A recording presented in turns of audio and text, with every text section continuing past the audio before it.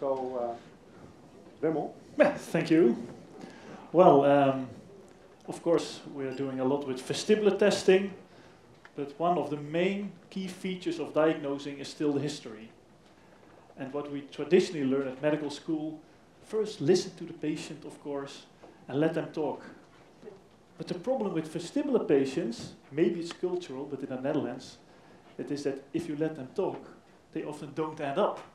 So you have a lot of patients waiting because they're still talking about a problem. So what we always try is to make some kind of structure in the history taking that may guide the patient actually through his history without them even knowing that you are really in control of the history, take, history taking. And well, um, if we teach the residents, there was one big problem that we noticed that a lot of people uh, perform pattern recognition. So they see a CT scan, and what you see is, for instance, a, a dehiscent superior canal. The patient says, I'm dizzy. So people say, that must be superior canal dehiscence, for instance. And a lot of people with superior canal dehiscence are referred to tertiary referral clinics with the question whether there is any superior canal dehiscence syndrome. But the key point is that you perform a very thorough examination. And if you then look at all these patients, for instance, with superior canal dehiscence, most of them, they don't have the syndrome. They just have a dehiscent canal. And also with this patient, when you really uh, paid good attention to his history, he actually suffered from just a unilateral loss. So there are a lot of misconceptions, mainly in history taking, that are still taking place all over the world. And uh, David Newman Toker, he did some research with his team, and he asked a lot of uh, frontline providers, that in the States, the emergency department, and they gave him questions with yes or no. And they were all about vestibular problems. And if you would think about a normal distribution, if they just gambled, you would have a normal distribution with a performance around 50%. But in this research, they noticed that actually people really made more mistakes than you would have uh, thought by just gambling. And it was because of misconceptions. And a, lot of those misconceptions are even more illustrated in more research. For instance, they looked at the emergency department, and in 81% of the cases they reviewed, they looked at the records, and there was some nystagmus written down in the, in the files that were actually not consistent with the diagnosis that was eventually made. And they did some calculations. They said, well, if it's something like this, this could result in a lot of potential deaths a year. And those misconceptions are at, at all levels. For instance, with history taking, one of the biggest misconceptions is that people traditionally look at the type of vertigo. But the type of vertigo, we always said, okay, if it's vertigo, then it must be peripheral. But if it's lightheadedness, it cannot be coming from the vestibular system. But patients are actually very unreliable when it comes to describing what they feel. They describe what they feel, but it's not really consistent with what could happen with the vestibular system. So we should focus more on occurrence of the problems and on triggers. I'll come to that later. Another misconception is in the diagnosis, uh, for instance, the physical examination. Because less than 50% of the patients in acute vestibular syndrome they show classic neurological signs. So you could miss them if you just do this kind of test, you know. And with the, in our country at least, a lot of people perform CT scans just to rule out bleedings or something like that in acute vestibular problems. But it seems that the sensitivity of a CT scan is only around 16% to, to detect problems in the posterior fossa. So, well, let's go back to the history taking. We have to focus not really on type, but more on occurrence and triggers. And if you focus on that, you can come to th three uh, syndromes that we all know, but actually it's plus one. Because the three that we know are, of course, acute, episodic, and chronic. And if you look at them, you don't have to uh, write them all down, they're also in your files. But you have occurrence, acute, episodic, and chronic, and then you can distinguish with the triggers. And the triggers are really important if you ask for them. Because if you just ask a patient, what's the trigger, often they say there is no trigger. But during history, they will tell you that they're avoiding some things, or that they, because some things make it worse, and that's actually also a trigger. So then you, I often ask the patients just in different ways for triggers. First I ask, is there any trigger? And then they say no. Then I ask, well, is there anything that you avoid? Uh, yes, this and this. Or can you make it worse by doing something? And mainly the people with the visually induced vertigo, they often um, find it very hard to tell you that visually patterns are actually a trigger, unless you specifically ask for it. But to make it more complex, you have those three syndromes, but actually you have a fourth one that Herman already explained, because you have the combination of episodic and acute, for instance attacks, combined with complaints of hypofunction. And if you look at an attack, it's like a bird is coming there and it's flying right into the engine of the airplane. So we have an acute asymmetry, just like what happens during an attack. And you know, mayday, mayday, you try to land. But you're also at that point an airplane that's just uh, flying on one engine. So it's not only losing it, but also flying on one engine. And in Meniere's disease, you can, for instance, see during an attack a nystagmus, very brisk. But if you look at the pattern that people often have, is that at first, this is the function, and this is in time. First, they have an attack, so you lose some function. And then they have another attack, and another attack. But eventually, the function don't, doesn't not recover anymore to where it started. So at that point, patients are actually suffering from attacks and hypofunction at the same time. And eventually, sometimes only on the hypofunction. Just as Herman explained about uh, people with Meniere's disease. When the attacks disappear, they often still have problems. But if you start history taking with a patient, for instance, in this phase, which has attacks and hypofunction, people will just say that they're dizzy and they're going to tell you the whole story, and it's very hard to separate the attacks from the hypofunction. And to make it even more complex, often it's all modulated by also panic. So that's why we thought about maybe we can make a step-by-step -step plan to just take all the symptoms, set them apart, and to divide, for instance, the attacks with the hypofunction. So, well, you all know that it takes time, and that's why a lot of colleagues, and probably also your colleagues, don't really like to see vestibular patients because it takes more time than for ENT, for instance, uh, you know, somebody with an ear problem, or earwax, or that kind of stuff. So, step one, people first tell a little bit that they're dizzy, and then if you notice that there are any attacks, you can say, okay, let's first start with describing an average attack. Because then the patients know that you're really focusing on the attack before focusing on their whole problem. And if you have an attack, and I'll focus on that first, you say, okay, you have an attack, then you can describe the attack. And uh, yeah, an uh, acronym to describe the dizziness of the attack is So Stoned, invented by colleagues of us in Belgium. And you see the O and the T, they are blue, and that means that also during description of that attack, focus on the occurrence and the triggers more than on the type. And if you look at this so stoned, it's just since when did it happen? Then the occurrence, how often does it happen? Then the symptoms, that's a little bit the type, lightheadedness, dizzy, dizziness, vertigo, instability, that kind of stuff. And then the triggers. And sometimes a trigger can, of course, be uh, very clear. I need some sound, probably. Okay, sound. This is one of the people we can get referred with the Cultural Referral Center.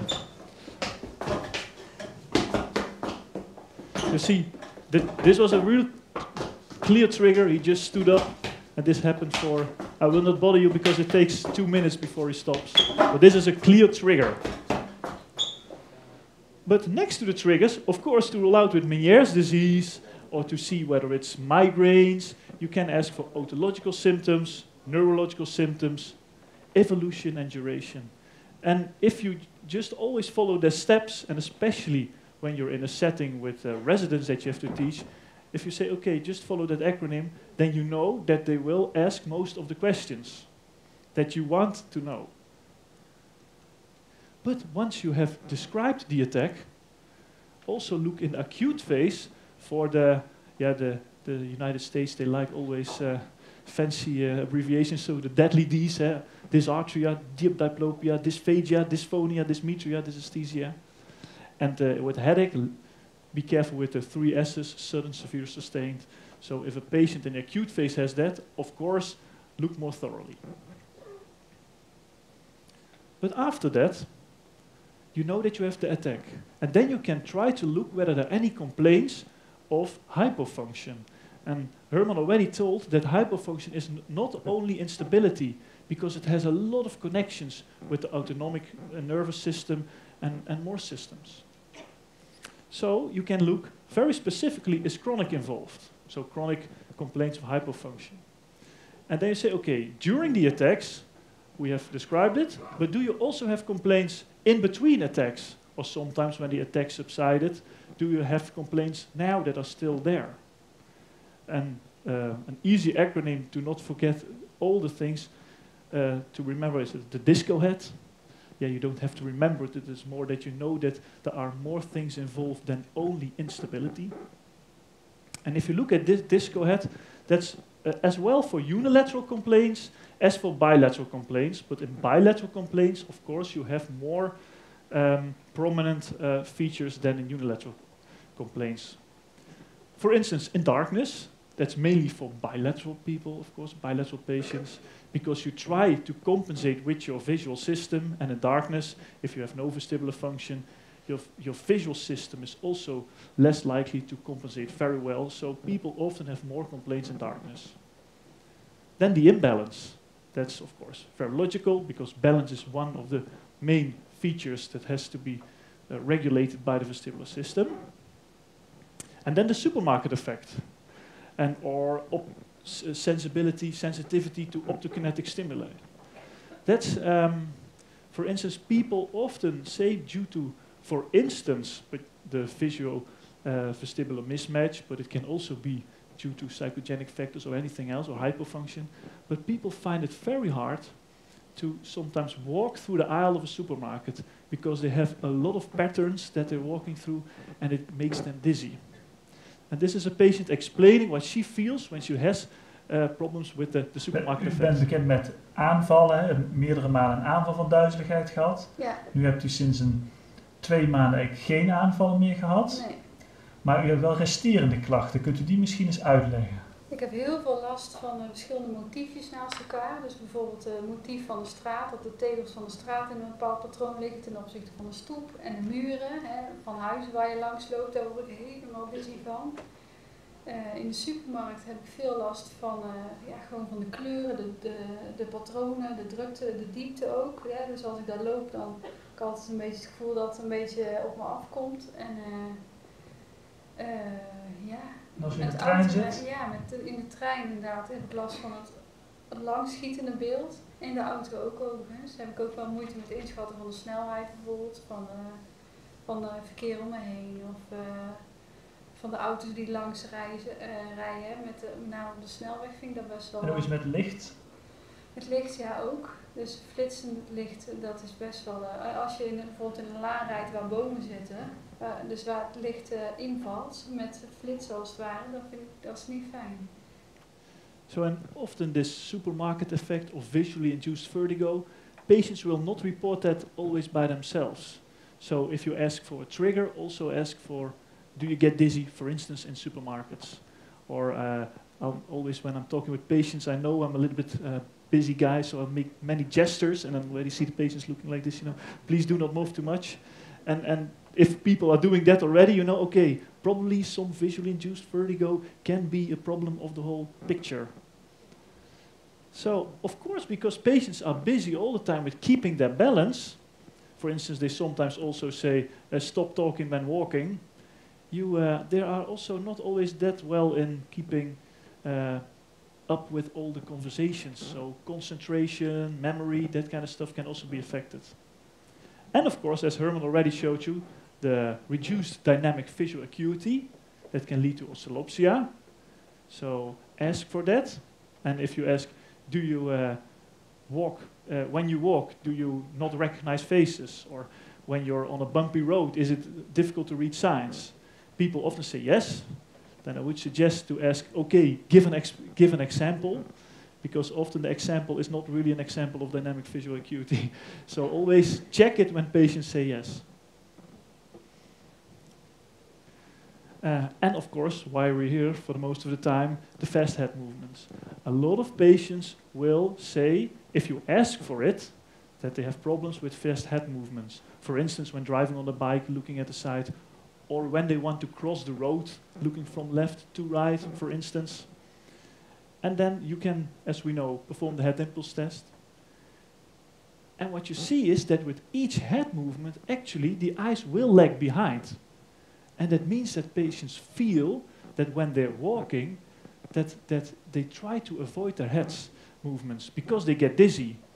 If we normally want to turn to the left, first we, we turn our head a little bit and then our body will follow. But those patients, as Herman already explained, will be more like a robot. We call it bottom up. They walk a little bit like this, very careful. And sometimes, if, if anxiety is also playing a role, it gets even worse. Komt u maar.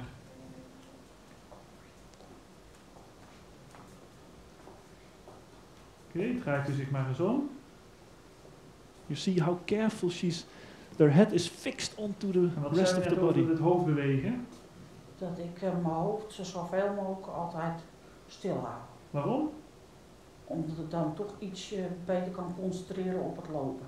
Okay. Achter mijn rollator of door het huis heen waar ik al vasthoud. Okay. So you see here, sometimes when you ask patients to, to come in in your consultation room, they're already walking like that. You can think, okay, that's already a sign that something must be wrong. Um, next to it, of course, the autonomic functions ask for that. And a lot of patients, especially in bilateral problems, and it's more prominent than you think, bilateral vestibulopathy um, is much more often um, found in a population than you would expect. If you look for it, you will find it. But a lot of those patients will say that they're very tired because they're continuously compensating for the deficit. Because, very important, the other side does not take over. So, this is what we have described when you have attacks and hypofunction. If people are just chronically imbalanced, or out of balance, then you can just use the two acronyms at the same time. But if you ask for it specifically, you will not miss anything. So if you have separated attacks from chronic and from chronic complaints after attacks, you often have the feeling that there is a discrepancy between the subjective complaints that they'll tell you and the objective findings that you will find in history taking or during a physical examination or ENG. So the last step that nobody should forget in cases that are a little bit more difficult, screen whether there's any problem with psychology. It's because psychological factors and vestibular disorders, they often go hand in hand. If you look at a lot of research, you see that psychi psychiatric and psychological problems are much more prominent in the vestibular population. Even we know some areas, for instance, in the hippocampus, where they even come together.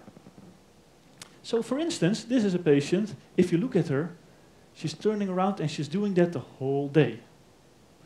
And that's, of course, all of you will say, that's not normal behavior, whatever you have. I think we can agree on that. Huh? But if you measure her, you will see that she has a deficit. And her history was actually part of hypofunction, so she had a deficit, but also with psychological complaints making it much more worse. So that's why it's always important to screen for, as a third step, for psychological complaints and why is it that the subjective complaints do or do not match the objective problems. And you can use, for instance, the hospital anxiety and depression scale, that's a questionnaire, and the dizziness handicap inventory. And then eventually you can think about making a diagnosis. One of the newer diagnoses now being made in, vestibular in the vestibular disorders are the PPPD, that's the persistent postural and perceptual dizziness. That's actually what used to be the chronic subjective dizziness, or the phobic postural vertigo, and even the visually induced vertigo is also now part of the PPPD, and that's when the anxiety is a big part. And it's not really necessary that PPPD is the sole diagnosis. It's often a second diagnosis made next to a somatic diagnosis. This is a patient with PPPD. Nu, nu gaat er iets helemaal rond in mijn hoofd. Aha. Waardoor ik eh, geen houvast meer heb. Ik voel mijn voeten wel, maar ik heb het idee dat ik naar achter val. Of, eh, dus dan moet ik eerst op twee benen staan. Wachten tot hij uitgetold is. En dan zeg ik tegen mezelf, ga naar links. Nou, kunt u eens draaien naar links? Ja, ja, ja, ja. ja. En dan see draai also ik met bottom mijn up? hele rij. A little bit, uh, Moet ik nu hier gaan zitten? Ja, als het kan. Of blijf maar eventjes staan daarvoor. Ja, prima. Okay, this is only on history already that, that you can suspect that anxiety is a problem of her whole problem. And then if you look at how she's walking, it's actually a confirmation that it's also anxiety that makes things worse. Often with PPPD, people have had a vestibular problem, for example, BPPV or um, a neuritis, and after that they have complaints that do not match with all your results. And often that's because of the anxiety. So, as the last step, screen for psychological problems. So, well, to almost end up, just some pitfalls during history taking. Although you structurize your history taking, sometimes there are still some pitfalls. For instance, three patients with the same story, often they come in and say, I was dizzy for a week. And then you find the vestibular hypofunction on the right, with, for instance, your head impulse test. And the, what's the first diagnosis you think of? Now, most people will say, well, probably that's neuritis. But that's why you should really focus on the occurrence and the triggers. Because most patients, they really think that they were dizzy for a week. But if you ask, were you really dizzy for a week? Then most of them will say, well, it was three days, very dizzy. After that, I it took a while to recover. Or some people say, I was dizzy for five hours, but really unstable for a week.